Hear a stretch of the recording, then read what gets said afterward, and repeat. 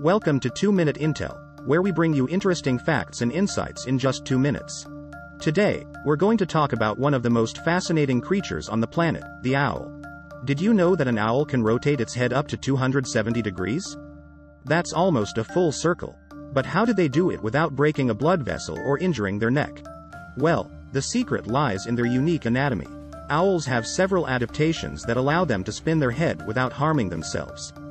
For starters, they have extra vertebrae in their necks, which means they can move their head in a wider range of motion than other birds. But that's not all. Owls also have a network of blood vessels at the base of their skull that prevents blood from flowing to the head when the neck is twisted.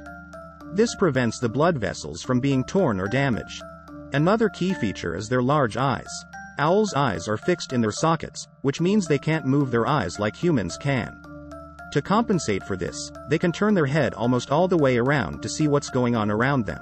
So, there you have it, the incredible and unique adaptations that allow owls to spin their heads without breaking blood vessels or injuring themselves. But here's a question for you. If you could have one animal adaptation, what would it be? Let us know in the comments below. Don't forget to like, comment, and subscribe to our channel for more interesting content like this.